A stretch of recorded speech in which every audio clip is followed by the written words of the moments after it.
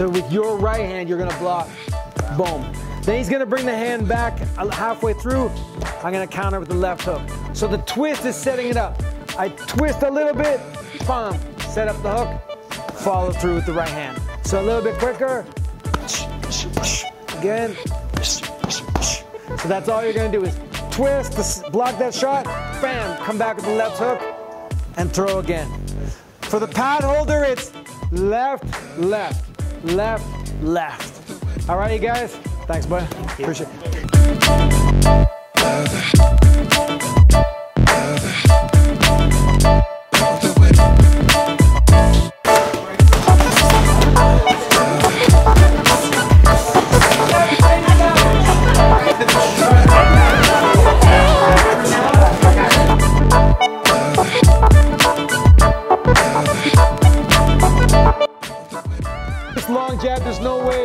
Gonna get there straight so that I can throw, or I wanna get my head here so I can throw.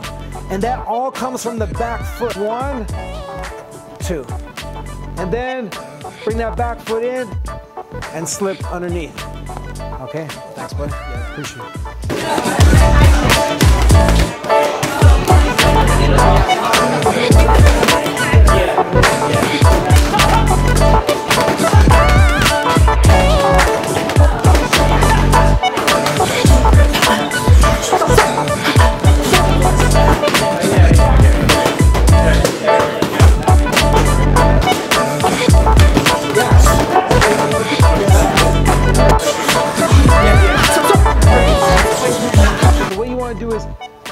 Up one of the punches in your combo.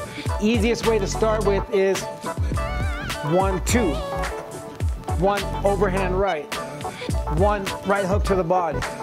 One uppercut. Mix up that second punch so that your whoever's defending your, your opponent doesn't really know what's coming. They have to be ready for something new that you're gonna throw at them. Then as you get to the next stage, you're gonna go one, two, three, one, two, uppercut. One, two, body shot. You mix up the third shot, and then you can keep going and going and going and going. But this is one of the concepts that you want to get in your mind when your shadowboxing is always keep your opponent guessing. We covered the when. When are you going to go?